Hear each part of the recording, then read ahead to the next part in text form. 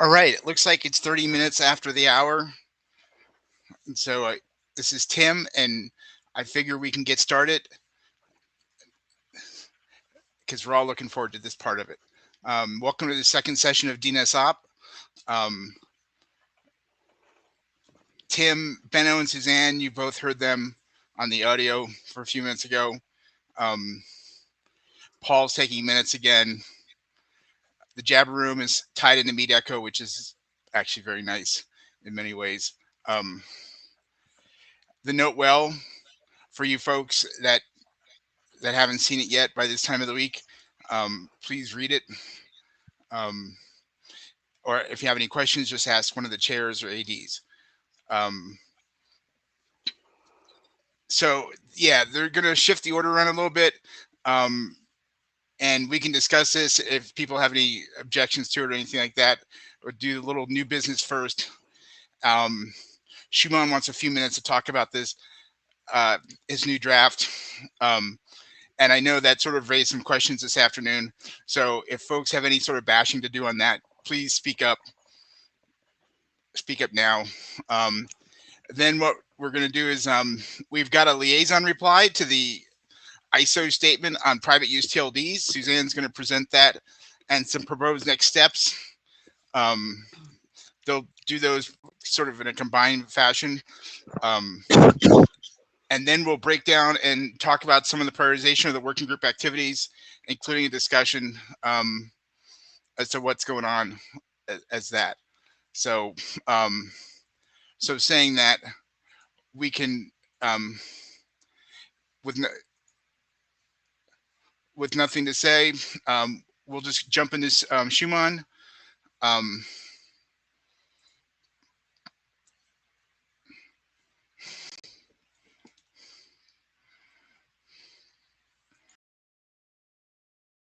Shumon, you can just unmute yourself and stick yourself on video. You don't have to wait. Okay, was that to me, uh, Paul? Thanks. Okay, so um, uh, I know there's some concern about taking time away from the work prioritization discussion, so I'm going to be very quick. Uh, I'm discussing a new draft that describes an enhancement to the uh, so-called uh, Black Lies Authenticated Denial of Existence mechanism. I'm using the term that's widely known to describe this method, but I want to focus today on the technical content of the draft. Folks can propose other names afterwards, uh, so please let's not do that right now, please. And uh, next slide, please.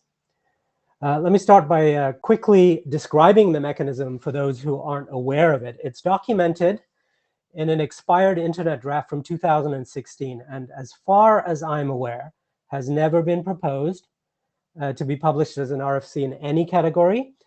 However, it is becoming widely deployed amongst the online signers. There are now three major commercial DNS vendors that use it. Use it. Cloudflare, of course, the originator, NS1, and more recently, Amazon Route 53. And what it does is effectively eliminate the concept of uh, NX domain, which, as it turns out, has some implications. Next slide, please. Uh, so for a name that doesn't exist, which would normally elicit an NX domain response, it pretends that it does exist, but doesn't have any data associated with the type you queried for. Uh, that's to say it returns a no data response. So status code no error with an empty answer section. And the rationale is twofold. You have more compact answers. A uh, signed no data requires just one NSEC record and its corresponding RRSIG. And uh, better performance, you just have to do one online signing operation for the NSEC signature. And by contrast, uh, a, a, typical NX domain response requires up to two NSEC records. And if you use NSEC 3, up to three NSEC 3 records and their associated signatures. So that's larger responses and more computation to produce those responses. Next slide, please. Uh, so what operational implications does this scheme have? For normal end user applications, uh, probably nothing. The effect of a no data response is treated identically to an NX domain in almost all cases. However, there are a variety of diagnostic tools, traffic characterization tools, etc., that may need changes to effectively deal with this um, uh, rather strange protocol. Obviously, the uh, first example that uh, comes to mind is things that plot R code distribution of DNS traffic. Many people do that, so they'll see almost everything is no error from these signers since R code 3 just doesn't exist here. And to give another example from my day job, we have DNS record provisioning tools that need to precisely determine NX domain. They have uh, critical safety features that prevent you from, say, uh, creating a zone cut or installing a DNAME at a name that does exist to prevent accidentally occluding everything at or below that name. And lack of this safety feature has actually caused production DNS outages for us, and we need this stuff to work. So arguably, the R code should not be used for these types of checks because as we all know, it's unauthenticated and could be spoofed. But then what we need to do is to infer non-existence by looking deeper into the payload of the DNS response, specifically at the signed NSEC records and figure out whether uh, this is sufficient or not to detect um, non-existence. So next slide, please. And the answer is almost. Here's what an NX domain response looks like from this protocol. So I'm querying a name that I know not to exist, nxd.blah, etc. And you can see the response code is no error, not NX domain. So how might we infer that this name actually doesn't exist? Well, the obvious way is to look at the type bitmap in the NSEC uh, record and see if it has any data record types associated with it. And we can see here that it only has NSEC metadata, RRSIG and NSEC. But is that good enough? Next slide, please. Uh, not really, because if we query an empty non-terminal name, which positively does exist, as in this example, we get an identical response. The uh, We get exactly the same type bitmap, as you can see the bottom right. Next slide, please. Uh, so there's no way to distinguish NX domain from empty non-terminals in the spec as originally written. Our proposal then is that these implementations and only these implementations add a new synthetic RR type to the NSEC type bitmap to signal the presence of an ENT. And that will immediately allow you to uh, you know, precisely differentiate NX domain uh, from uh, this case of non-NX domain. So this is deployed in the field already by one commercial DNS vendor. And I'd like to acknowledge Jan Včelák, who I work with to make that happen. And I'm also speaking with a, a second vendor about implementing this. Next slide, please. And to make it more concrete, here's a re real example of this enhancement in action. I query the uh, empty non-terminal that I have here cleverly named ent1.sftcsd.net. And as you can see, we have this additional synthetic RR type in the type bitmap. Currently, we're using a number from the private use RR type range, uh, we could and probably should ask for an official allocation from IANA. Uh, next slide, please. And if you're interested, I have some uh, simple sample code here to infer NX domain from the BL type bitmap. And uh, next. And lastly, what should we do next? So whether the IETF DNS crowd likes it or not, the BL mechanism is deployed in the field today and potentially will be widely used because, as I mentioned, there are three big DNS vendors doing it. So it seems to me that it deserves to have a stable uh, published reference, not just an expired ID. We did inquire with um, the originator maybe a year or two about their uh, draft and didn't hear back. The ENT enhancement that I just described is also deployed in the field and should have a published reference for that same reason. Uh, now, due to the fact that this protocol contorts the semantics of NX domain, uh, egregiously, one might say, I suspect that the DNS uh, crowd will not bless this approach, but maybe I'm going to be surprised. So I was thinking informational RFCs via the independent stream could be the most fruitful course of action to pursue. And we could even combine the original proto protocol description into my new draft, and then we just have one document to publish. So what else? We could let this draft expire as well and call it a day. And uh, with that, I will stop.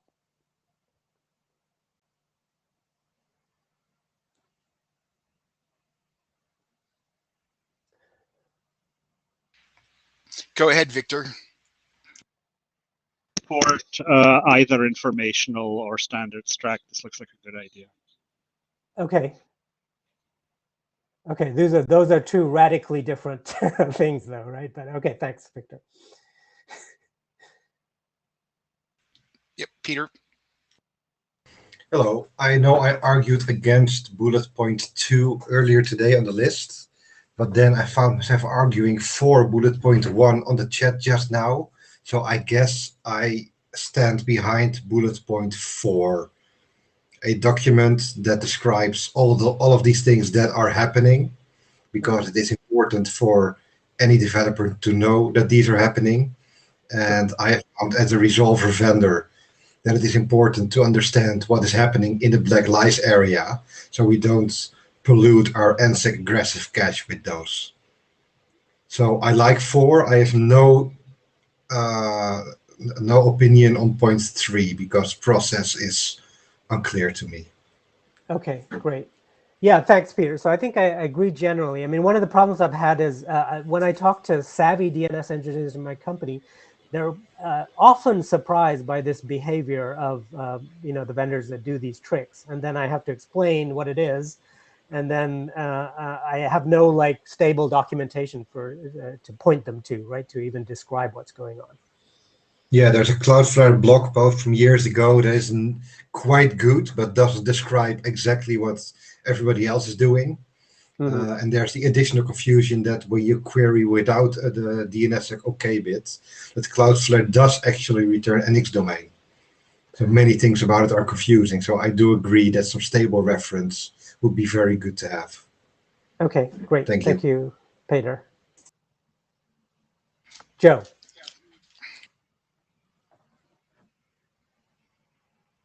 Uh, we, I can't hear you, Joe. Oh no. Oh, now I can. Oh, now I can. Oh, good. Okay, good. Oh, no idea why that is. Anyway, um, I don't think it's actually very important whether we think this is a good idea. I think it's far more important that it's being used and it's confusing. Um, and I think a document is good.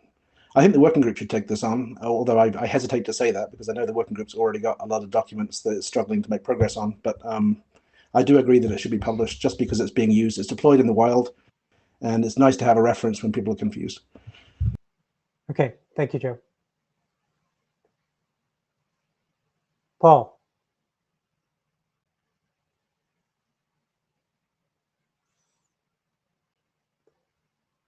Uh, I don't know if Paul is talking because I can't hear him.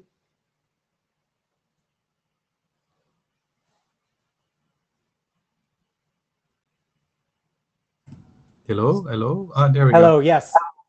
Sorry about that. Um, I agree with the, the previous two speakers that we should do this. We should do this in the working group. Um, since it's mostly documenting existing practice, uh, it shouldn't be too slow to go through the working group because we're really just writing what's already there.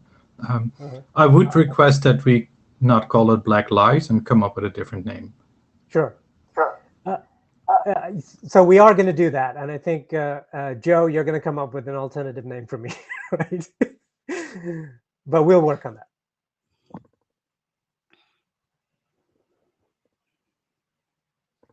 Okay, so I'm going to relay something that was just uh, sent to me, um, and it looks like Cloudflare is on board with uh, renaming and helping to publish. So that's that's good. Uh, we're closing the queue. Yeah. Donald.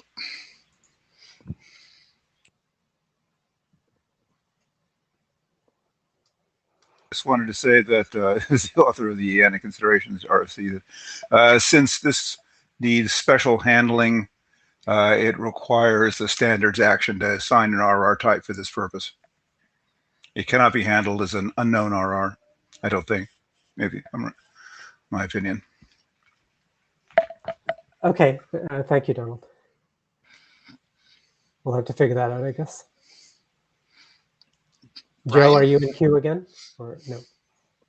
Brian. Brian. Uh, sorry, I, I guess when I was reading the uh, the draft, it wasn't clear to me, and then going back and looking at some of the related items, uh, whether this is also being done by these providers for NSEC 3 or if it's only NSEC. Uh, 'cause I think NSEC 3 has a slightly different uh, behavior in terms of how it treats ENTs, and that was what originally caused me to post the list. Uh, Right, yeah. Call it. So, uh, so my understanding is that this uh, mechanism only use NSEC. Uh, NSEC with epsilon functions. NSEC 3 is more complicated. It requires more records, so they chose not to do that.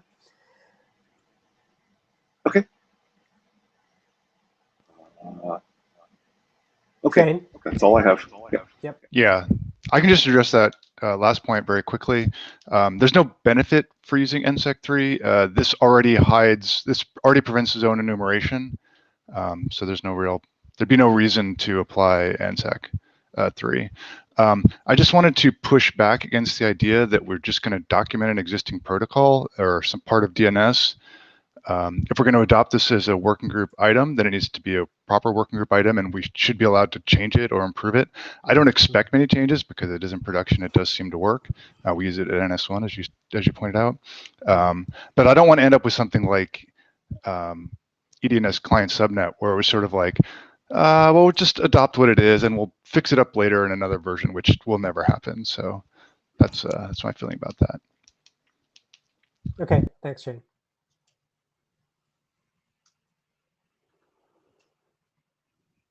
All right, thank you, folks.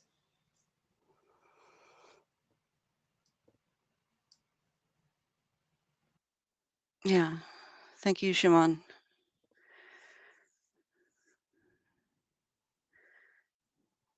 Uh, let me move the window around, and I guess I'm next.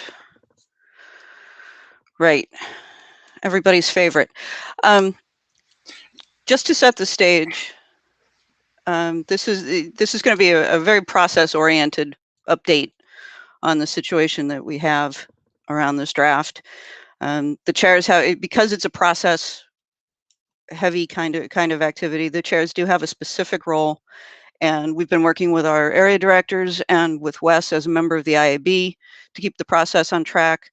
Um, but the working group will have to decide what we'll do with the situation we have. So I'm going to go through the the process pieces first, and uh, list where we are with with the various options for how to proceed because no decisions have been made and no decision can be made without the working group um, as far as what to do with the information we have.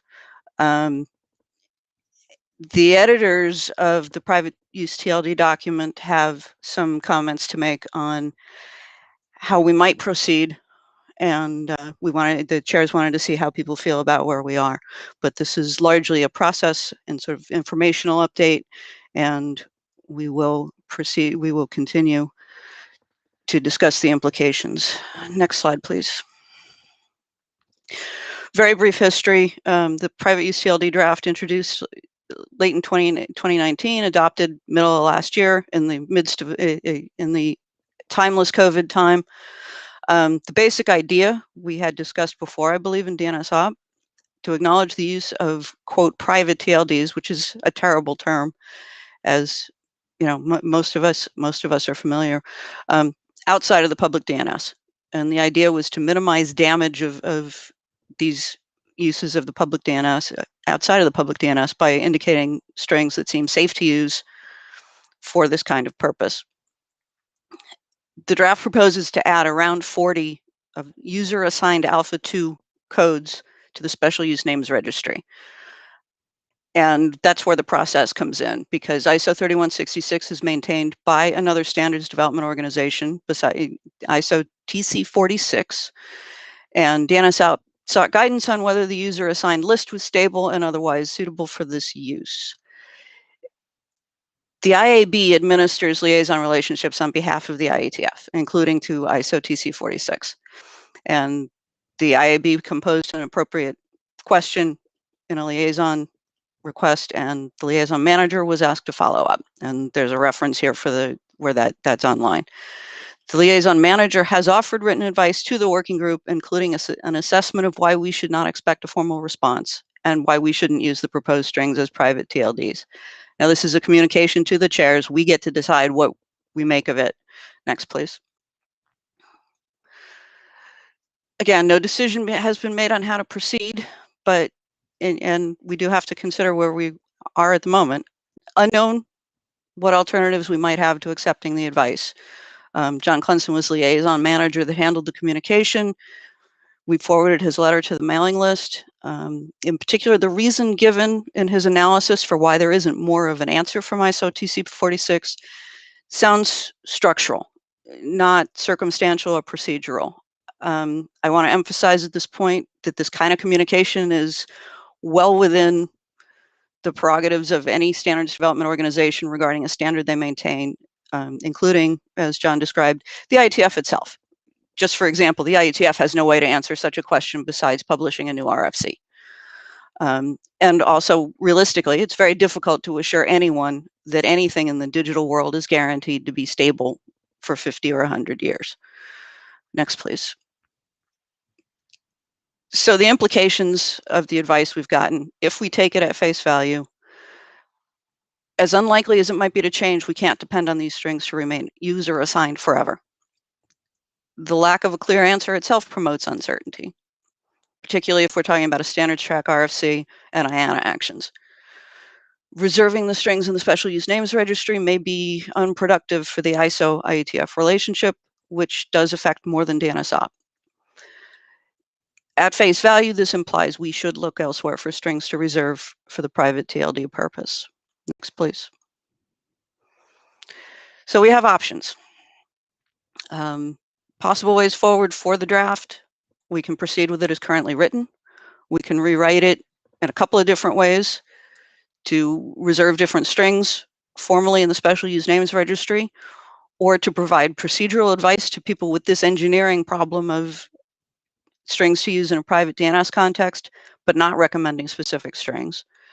Um, we can abandon the draft and figure we'll revive it if and when acceptable strings can be agreed on or the question can be safely avoided. There's a lot of ways to, to, to approach that.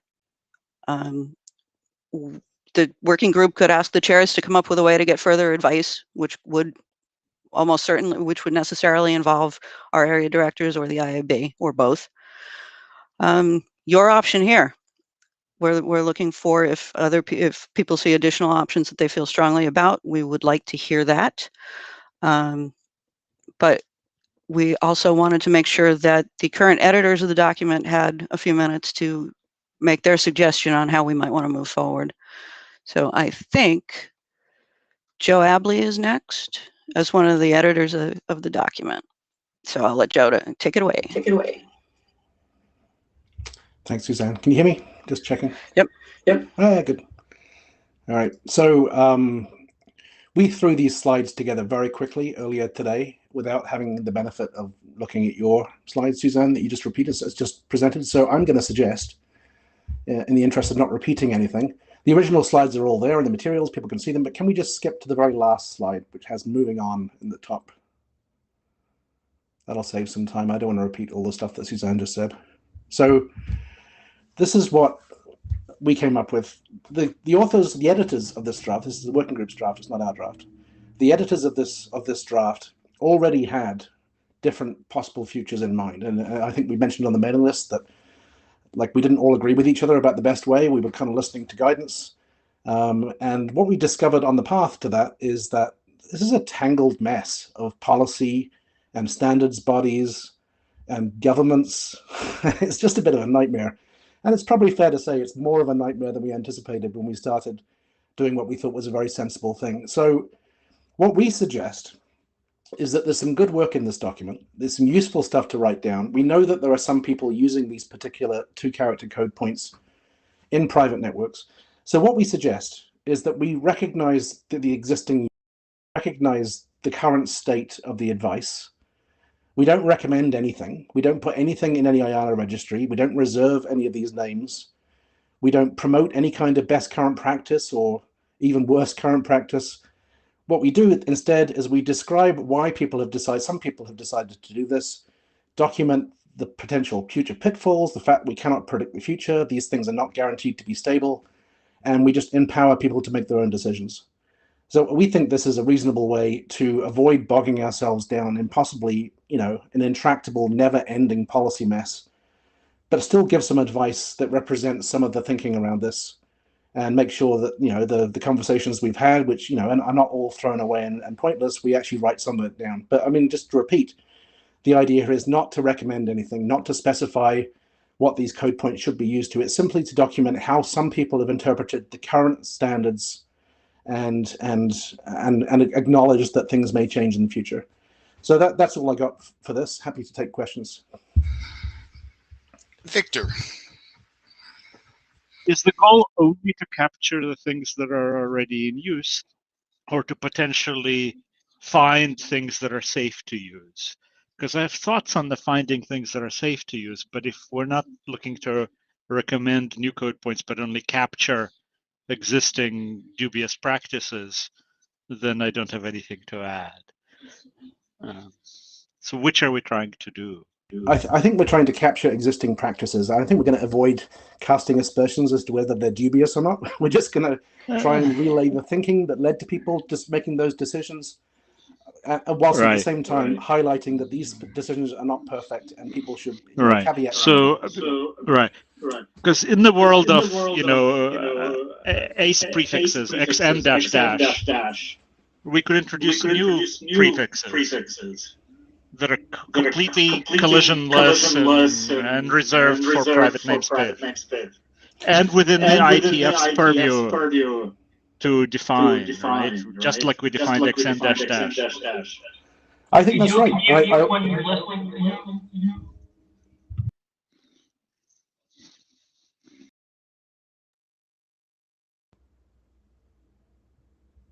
I don't. I'm not sure what who said what. Oh, maybe my microphone stopped working again. No, no you're you're you're fine. You're fine. Okay. But there's an echo. Um, okay, well, I'll, I'll mute when I'm not talking. But yeah, the idea is, is to document what we have. Uh, there are lots of ideas, possible ideas about this. The XN dash dash type analog is one of them. SSAC produced a document which, which re recommended the ICANN board do a thing. The CCNSO may have opinions about things. There's all kinds of people who could have opinions around this. I think we're not trying to close any doors. We're just trying to document one set of decisions that some people have made without recommending anything.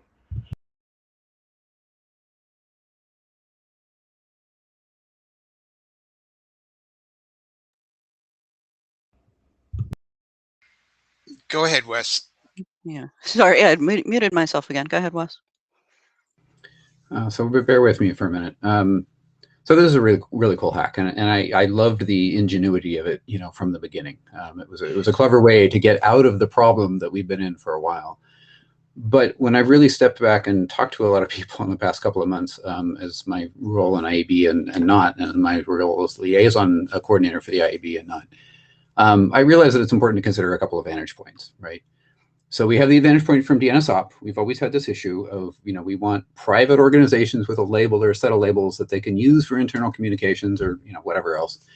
And this has been desired for a long time and we've, you know, failed to provide it. And so there's even disagreement about whether there's a need in the first place. If we consider ISO's advantage point, right? They've they've created this space. They they were assigned uh, the the uh, the responsibility of administering the two-letter TLDs, you know, for user space. Um, what is a user in this context, right? In ISO's vantage point, what is a user? And, and after reading documentation and stuff, the user is supposed to be countries that don't have an assignment yet for themselves. And this is sort of important if, you know, countries split or, you know, new countries get created. It, that does still happen occasionally. Uh, and eventually they're not yet recognized and it takes, that process takes a while. So they can take one of these user defined spaces. If we turned around and changed the notion of what a user is from our perspective, we're adding potential conflicts to that intended use. If organizations inside a country had been using it, for example, then there amounts to similar conflicts as we already have with corp home and mail, and we know how much of a pain that whole situation is from you know the ISO vantage point, you know it's functionally their code space given to them a long time ago in history that I actually don't know, which is between the IETF and ICANN and ISO, that I can't summarize here because I actually don't have it in my head. But consider what it looks like if we functionally publish a document that takes it back, or even publishes a document that says, you know, we don't know whether this is good or not to use. And that's really what I'm going to come down to because I, I don't think it's actually okay to even to, you know, this ends up to me being a should not or a must not. because it's not uh, necessarily appropriate. It's politically inappropriate to consider this. Uh, that's not where I started. I started with this as a really cool hack. Let's take one more step forward, which is the IETF vantage point, right? What happens if we set this precedence to reuse other organizations' private spaces? Would it be okay for ISO to define how private ASN spaces should be used for routing and what impact would that have on existing operations? What about another SDO that, that redefines the purpose of the evil bit? Because clearly we're never going to use it for reals. What about an SDO that redefines the use of the Z bit in DNS because it's historic and we no longer clearly need it because we you know aren't really using it? What about an SDO that defines how 1918 space could be used in some sort of novel way? What if ISO actually revoked, you know, portions of our OID tree because they didn't think that we were using it, right? I think that we'd be furious from the IETF perspective if some organization did something similar. And in the end, to me, this is a we we should not do this, or we must not do this because we have to agree between multiple standards organizations uh, to have consensus and and just beyond consensus, unanimous consensus in order, you know, for interoperability not to be broken between organizations. Thank you. Hopefully, I think there seems to be a delay sometimes. Am I working again? Yes, testing, testing. Working now? Yep. Yep. Because Brian is next. Brian is next. I, I don't know what the delay is. Let me just respond briefly to Wes because I Oh, the history of oh. The intersection between these two letter code points and how they're used as TLDs is not quite as as Wes pointed out. I mean, we we don't need to go into the history here, but it but it's it's not quite as as Wes indicated. But I want to confirm that the, the suggested approach here is definitively not for the IETF to promote anything or to suggest that anybody do anything. Merely document that some people have used their interpretation of the standard in a particular way in their private network where they have jurisdiction how they organize their DNS. So again, it's not the IETF exerting a particular use. It's really just documenting what somebody did. I I realize, Wes, you may well think that that's a sort of a way of a Weasley way of addressing the entire thing, but I, I do think there's some benefit in actually documenting what people are doing here, and I, I don't know where else to do it. Brian? everybody's ever said. Um, sorry, that's also kind of easily. I think it would be helpful or useful if we could uh, document it and then vaguely deprecate it if we have something that we can offer as an alternative. And I think if we do pick an alternative, something underneath IETF control, such as under dot .arpa, might be a good place for something like that. Uh, and then the question, bad ideas suggested by me previously, possibly, uh, is having something like a an unsigned delegation to empty.as112.arpa, just to make sure that if it leaks, if any of these uses get leaked, uh, they don't really go anywhere useful. Anyway, those are just thoughts.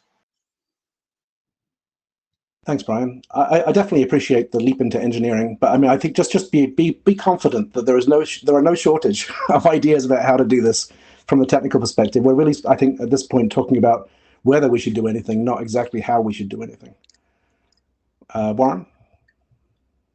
So Warren and wearing no hats.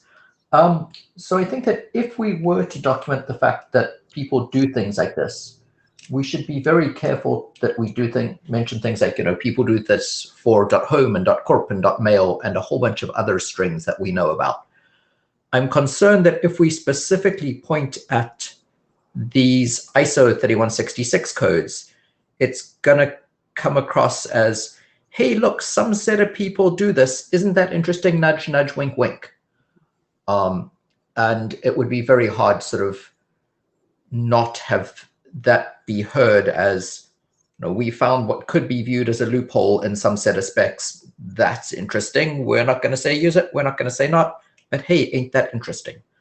Um, obviously, name collisions and people squatting on names is a massive issue, and I think everybody agrees that. Um, having more discussion on that might be useful. I'm just not sure that mentioning the set of labels is going to end well for us. Yeah, we're No, going I to give agree. Wes the last word and then take it to the list. Okay. but go ahead. Oh, Uh, Or Joe, you had sorry. something to say, and then Wes, and I'll, I'll mute again. No, I was just going to agree with Warren. It's, it would, if we did publish something here, I mean, it's a perfectly reasonable option to say this doesn't have a home here, we should, we should drop it. And I think if that's what the working group prefers, that's what we'll do. And uh, I, mean, I, I do think if we do publish something, it's very going to be very important to make it very clear that there are problems with all these approaches. None of these things are sanctioned. The IETF is not expressing any kind of authority. All we're doing is documenting some decisions some people have made, and it has trade-offs same same as everything else. So I do agree. The wording will be very careful, important. Uh, so you're right that that uh, it is. It, it- you would be docking, documenting something that already existed. However, by actually producing the document in the first place, I actually looked, went back to uh, four years worth of queries uh, on just one sample day um, out of uh, DITL data about the number of queries for .zz that arrived at uh, UC, UC, USC ISI's uh, root service. It quadrupled and almost quintupled between the point that that draft was published and now. So we already have had an effect, unfortunately. Um, but the guidance of this document that, that we might want to produce should define everything that we learned and then explain advice about why people shouldn't be doing what we've learned, right? So you're right, you know, people are doing it, but they shouldn't. And that's what we should document. Stop it. Well, I, th- I think publishing it as an idea considered harmful is, is certainly an idea too. So I guess we'll take it to the list. And uh, thanks, Suzanne. And uh, next next thing, I guess. Yeah. Yes, thank you, Joe.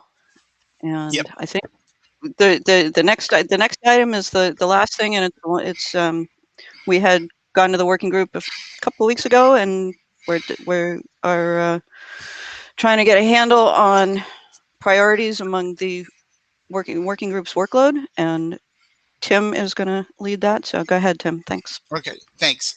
Um, yeah, um, and thanks for Benno for putting some of these together. These are very good. Um, going through the list of documents we have, um, when this first came up, I, I was sort of like, I didn't think we had that many documents. And then I looked and I said, oh, maybe we do. And then I looked and I realized like, oh, HTTPbis has just as many as we do. So we're not as horrible as like the next group of people. Um, I don't know if that means anything, but in the data tracker, as you can see, we've got 17 documents, really 12 when you sort of toss out the ones that are basically in the process or being held.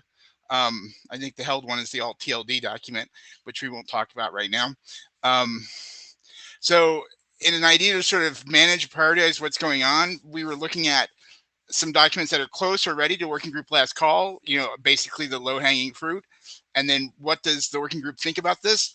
And we, when we were talking about this with Warren, we sort of threw out this half baked idea of like, you, maybe we should do a poll. And Warren was like, that's a great idea. You should do a poll. And, um, and so there we are. Um, so look for all the other Warren group, um, working groups to have polls got going out as well. Um, we'll see. Um, so looking at some of this, this is some of the um, where we sort of saw some of the you know feedback from folks where where there was some as we sort of said on Monday. Was that Monday when we had our first meet? Oh yes, it was. Um, some you know a lot of positive stuff on the NSEC 3 guidance draft. The glue is not optional. NS revalidation. Um, some interesting you know pushback on um, well, a lot of indifference to stuff like uh, 5933bis and the IANA consideration, catalog zones, um, comments like that. Um, not important. Um, delegation only sort of got the the the largest negative response. Um, sorry, Paul. Um, the other Paul, not that Paul, that Paul. Um, you know which Paul it is. Um, but yeah, that seems to be really where the working group was sort of it was sort of good to get sort of this feedback in a very anonymous way, so people didn't feel like they were going to be judged any way, shape, or form. Um, would you like to say something, Mr. Paul? They also probably revealed that on my um, um, my submission too. Um, the questions are a little weird. Like like the, the the delegation only draft, for instance, just takes 15 minutes for people to finally decide to kill this idea or accept this idea. Like it doesn't take much working group time. Exactly. Exactly. And exactly. and so telling people whether it's important or not, and I'm putting it to the back of the list all the time is what has already been done to this document for like two years. So I, I don't think the the methods of trying to clear our queue is is a proper method because there will always become more important things than the less important items we have, and so you will always get them on the end of the chain, and they will just linger for years without getting resolvement either one way or the other, and that's the real problem to solve. that that no actually that's a very good point and and i think some of what we're going to take from some of this is not just things to move forward but things to to basically say goodbye to right um and and you're absolutely correct um that that's a good way to say it and um and yes it won't take that long okay warren you may Thank you. And yeah, I mean, I think some of this is also people who've said that a specific document is important. I think we're hoping that that also means, and they're willing to spend some time on reviewing it really soon and providing comments as well. Right. So some of this isn't just which is important, but it's also a implicit, and I'm willing to actually spend the time to do a useful review as soon as it comes up for working group last call. Um, another part was also to help get people thinking about the set of drafts for the conversation. But I don't really know why I'm talking now, so I'll just stop. Okay, thank you. Um, and much like we discussed on Monday, we feel we have a few graphs that are pretty close to working group last call. Um, I, the IANA consideration, it, this is this is not interesting, but it's basically plumbing that we have to do that I feel we have to do as a working group, and I think the chair is all sort of in agreement on that. And so we'll move that forward. I a lot of good discussion on the glue is not optional now that it's been revived, and um, as well as the avoid fragmentation. We really want to sort of move that along. Um, though there was some good discussion on, on Monday about some of that. Um, I need to sort of we need to follow up on. Same thing with NSEC three guidance. We're very, you know, it it looks like some straightforward measurements to get to settle on some max iteration count, and um, we feel that the, the the draft is ready to go to move forward as well, um, as long as the authors sort of feel similarly, um, which we think they do. So there's a few things that sort of came up um, that we consider are pretty close as well. The error reporting um, needs a little bit more discussion um, and some sort of this, you know, some prototypes. But NS revalidation, we feel, um, and I know I've sort of poked the authors on this a few times. Um, we really think it's pretty pretty close to working group last call. Okay, Shumon, as one of the authors. Uh, yeah, so I was going to say um, it's mostly done. There are a few uh, small edits that were in the queue. So what happened with that was we kind of got derailed a bit and lost momentum when uh, one of our co-authors, Ralph Dolmans, left for uh, Greenwood yeah. pasture, by which I mean non-DNS pastures. He completely left the DNS protocol engineering community. So um, we're we're going to pick that up. I just have to um, uh, ping uh, Paul, that is Paul Vixie, and uh, Yeah. finish up some of those edits, and then hopefully we can get that reviewed. Yes, I I did not poke you this time because you had been you guys had been working, you folks have been working on the the glue is not optional draft, and um, I didn't want to sort of get you mixed up with that. So, but thank you. Okay, yeah, thanks. Yep. Victor. timing on the NSEC 3, in terms of timing on the NSEC 3 recommendations, I'm waiting for a few shoes to drop. TransIP has some bulk changes that they're implementing and a few others, and we'll have a much clearer picture of what the deployment landscape looks like about a month or two out. So I don't know if that's, you know, within the kind of time frame you're thinking ready Yeah, for of call or not. But I think that's a- close. Yep. Okay. Yeah. Yeah. But not I- I- today. I, think uh, you But know. before but before the next IETF, we should be able to. Yes. put- Yep. Yeah. Things should be clearer by then. Yes. Yep. Perfect. That's exactly how I sort of view close. Um, really close would be, you know, like IANA consideration. That'll probably go off this week. Um, as, as soon as I sort of get moving on stuff. Um, some other interest, you, you know, there's sort of mixed interest in some of these. Um, we do want to move the 8499bis because there's some updates in that. Um, some some new terminology, especially around the DOT, DOH bits, um, and maybe some more after the DPRIVE discussion on some of the DNS over QUIC and some of the variations. I, I will have to talk to the authors on that. Um, but some of the new work being suggested in the in sort of the free form field, the DNSSEC bootstrapping, um, which we saw, you know, as well as the DNSSEC automation. Um, we saw that, you know, we saw both drafts kind of come through the mailing list and they looked interesting. Um, and we were sort of, you know, we're thinking that yes, these may, you know, these sort of fall into the sort of same bits um, that we feel very good about sort of adopting, but we held off because of, you know, we wanted to make sure we sort of got our handle on what we were doing.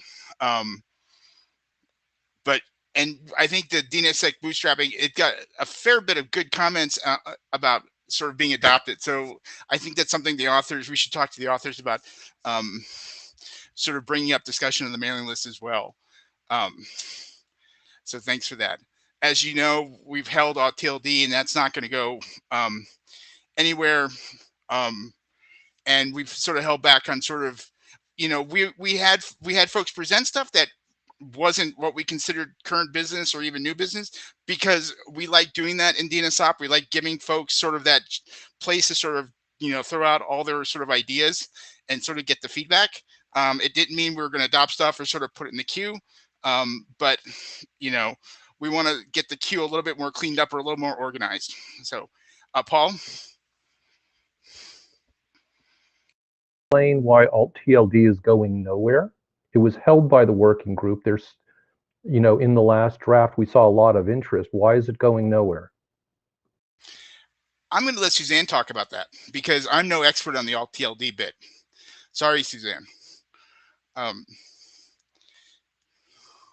Yeah, n- not, um, there's not a lot to say. We had parked it pending. Man, I'd have to look at, I, I would, I would actually have to go look at it here. Yeah, Warren probably remembers better than I do, but we had held it pending resolution of some, some external condition. And Warren, if you, if you remember, you should speak up. I believe that we held it based on the finishing the special use domain names problem statement document. And then an assumption that after we finished special use names problem statement, we would actually get around to fixing all the problems with special use domain names. Um, it was always the plan that, you know, there would be the problem statement Yeah, document no- and then the resolution document. And I think we have never actually found people with enough stomach to take on the solution to special use names um, registries. Yeah, there was some hope that we would come up with a more general framework for moving. At the time, we had a large number of requests for special use names. And there was, uh, I mean, I, I'll point out that I am an author and I still think it's a really great idea. We could always say, you know, it's unlikely that we will ever solve the problem of special use names. So let's possibly go ahead with this. But I'm biased, obviously, and that's the chair's decision. Um, I will mention it did have a working group last call to which we invited ICANN people who all came along and I think were probably terrified by us, but they nodded sagely.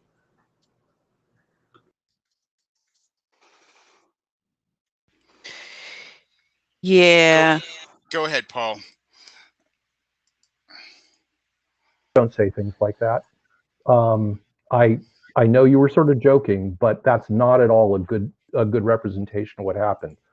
Um, ICANN folks came and said, you know what? If the IETF wants something, we'll make it happen. That's really different. You're right. I was overly flippant, as as I am wont to do. Apologies. Yeah.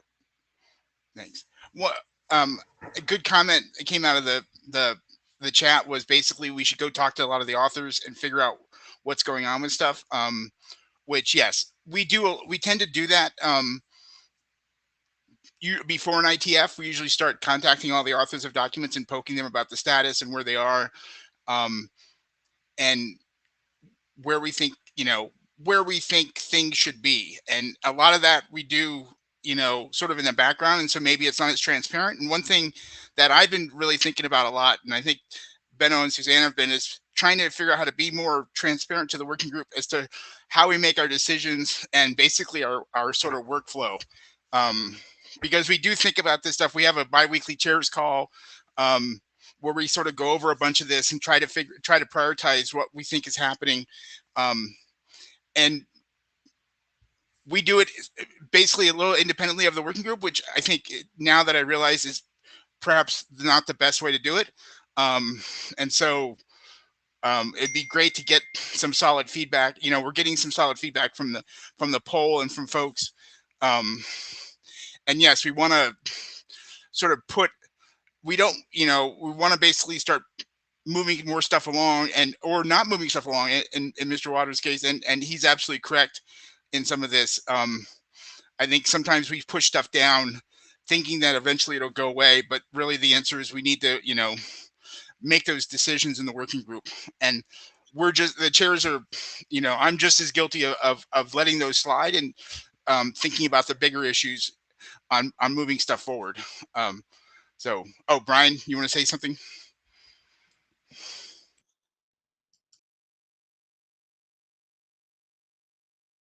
I think there is interest. Um, could we do a show of hands? Is that something we can do in this format? A show of hands for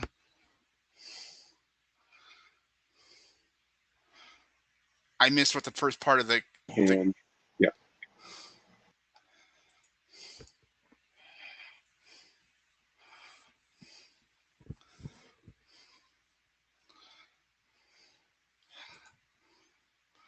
say, uh, chairs, uh, how do you feel about doing a show of hands? And if so, uh, let's do a show of hands. I'm sorry, a show of hands on what? I guess that was the question. Getting it back out of the held and making it move forward.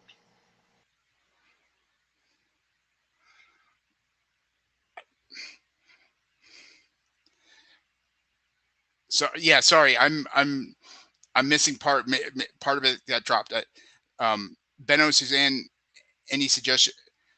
I'm missing something there. I don't know. No, it's it's not. No, clear. Brian's audio is not great, so I'm not sure what he was requesting a show of hands on. Um, in any case, we are running a little bit short on time.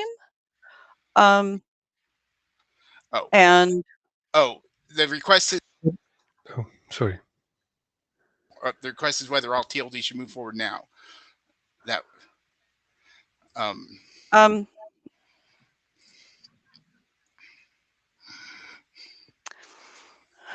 I- since it's been parked for a while and it's not clear that people have had much of a chance to renew their memories on it, I think it would be better to take that to the list. Tell people we're interested in assessing that and give them a chance to reread it. Yeah. Yeah. So this session is really about making progress in general and not about specific uh, uh, drafts. Uh, so it's more approach how to improve, well, progress and, and manage workload. and, and transparency in, in our workflow. Yeah. Yeah, yeah. Um, and indeed, uh, all the individual drafts have to be discussed.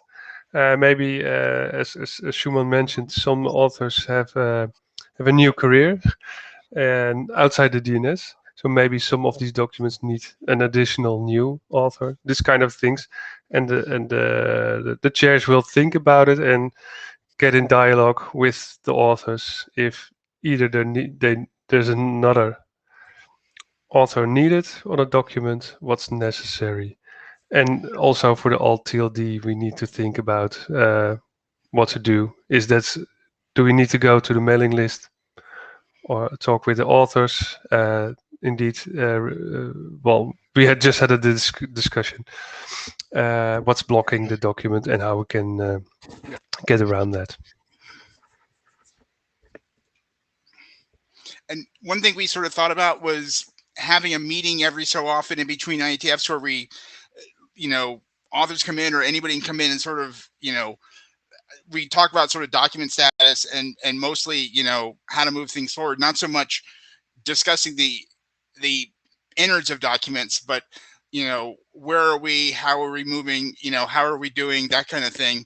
We're we're always looking for sort of feedback on how to improve our process, basically because we do get a lot of folks kind of coming in with stuff and we see a lot of documents and there's some like the bootstrapping document which we think is very interesting but um, sort of got missed in the shuffle um, that I think, you know, really sort of fit into the the DNSOP world. Uh, so we're always looking for that, and, and I, I hope we're we're responsive to any any issues or you know people people want to raise. And you know, you just go talk to Warren if you've got issues. Um, he's very willing to listen and and bring things to us and and sort of yell at us about stuff. I think he People should feel free to yell at us first. yes, you know.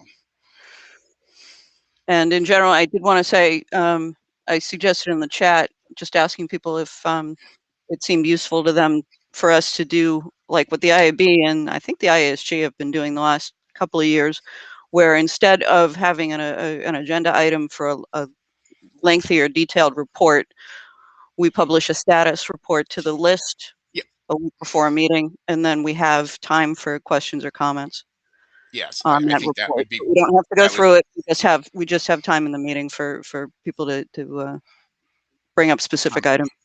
Yep. And Paul? that seemed to get some good reaction. So guys, we, you know, we should think about that. I think it would be a good idea. Yes, agreed. Go ahead, Paul. So w- one suggestion I have is to maybe monthly or so just send an email with the list of items that we are working on, items that we need feedback on, so that everybody's reminded very regularly about what items we are talking about. And then we have a much better situation where we can declare lack of interest uh, and other things to to to to then kill those documents that have no interest, or say this document seems to never be able to reach consensus, we're killing it therefore. Then then we have something. Uh, I think the the three times a year list of documents is just not good enough to get through this. No, I agree. and actually, that's funny because we keep a document status list in GitHub, and I've always thought about mailing it out regularly. And it's kind of where we think documents are. You know, it's like this is being, you know, we're waiting for an author to get back to us on something, and so you're you're right. We we actually keep something very similar to that already. We should push that to the mailing list on a regular basis. That uh, that's a very good point, and actually, I, I would agree totally with that. So. Okay, so we should take that as a as an action item as well. Um, no, thank you for that. Yeah, we are almost out of time, but um, this this has been tremendously useful. Thanks, everybody. Um, and we have time for one or two final comments if anybody has anything additional to say. Yep. Speak up. Or we can give you back three three minutes of your afternoon, evening. And- Brian, go ahead.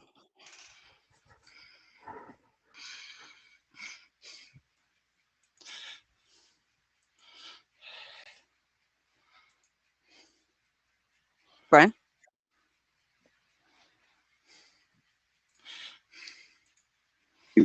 Okay, sorry. I hate to be that guy. Uh, at DPRIVE, um, there was some stuff I was suggesting that I wanted to bring over to DNSOP, um, specifically to deal with uh, the, the fact that um, delegations are unsigned. Um, and I was wondering, is that, should I just write that up and post it to the list and ask Yes. uh, for feedback? Okay, Yes. Yep. Okay. Just wanted to make sure it was cool. Thanks. All- All right. Oh, it looks like Ben's going to get the last word in. Okay. Oh, Mr. so on that topic, uh, I would I would appreciate from the chairs um, a little more guidance about where documents like that should go um, between DNS Yep. and op and, and DPRIVE. Basically, if DNSOP is overloaded, you know, tell us so we can have that conversation in DPRIVE. Yep. We can do that. Warren. And I'll talk really quickly, kind of like an echo. Um, we had spoken about having a joint meeting between DPRIVE and DNSOP and ADD and a bunch of others where specifically we could talk about that sort of stuff. We should probably try and organize that in interim. Kind of a that- joint interim. Yep.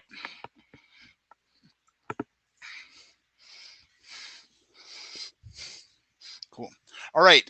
Then I'm going to let go because Mr. Michelson wants his minutes back. Um, but no, but thank you all for showing up. Especially so. those of you who are up in the middle of the night. It is vastly, vastly appreciated. Yes, we do appreciate that. And so, we'll be. With that, we'll say good night or good day. And see you on the list. And thanks again for the input. Yes.